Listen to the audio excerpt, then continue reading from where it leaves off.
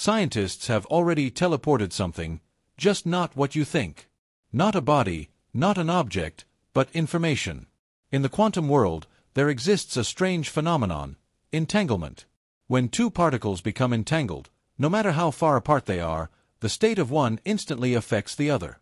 It's as if an invisible thread connects them beyond space and time.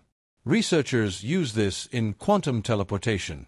They don't send matter, they transmit the quantum state of a particle, the complete information about what it is.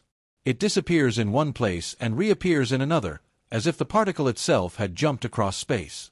NASA, Fermilab, and Chinese research institutes have already achieved this over distances of tens of kilometers. This will be the foundation of the quantum internet, a network where data isn't copied, but teleported.